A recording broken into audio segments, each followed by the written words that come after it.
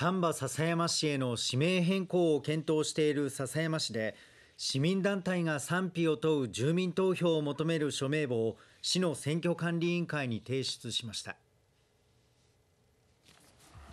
市民団体指名の名付け親になろう会は今日篠山市役所を訪れ住民投票の実施を訴え集まった1万914人分の署名簿を市の選挙管理委員会に提出しました。この住民投票請求は丹波篠山市へと指名を変更する方針を固めた篠山市に対して